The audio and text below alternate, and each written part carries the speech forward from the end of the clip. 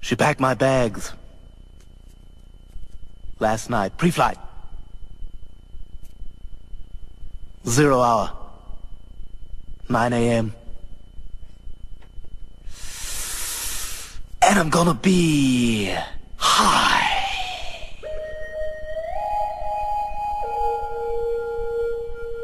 As a kite by then.